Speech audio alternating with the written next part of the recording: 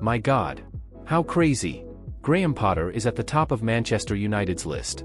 Graham Potter has been out of work since being sacked by Chelsea in April and is admired by Sir Jim Ratcliffe and Sir Dave Brailsford, Erik ten Hag under pressure after failing to deliver consistent results at Manchester United but the current hierarchy at Old Trafford have no plans to change manager this week.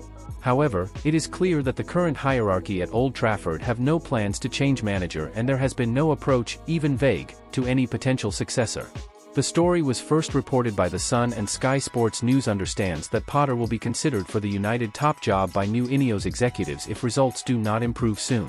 Yes, if results do not improve, it is hard to see Ten Hag surviving in his position long-term within the new structure. Much is still unknown about Ratcliffe's intentions but at Nice, another club owned by INEOS, there have been five managerial changes in the last four years.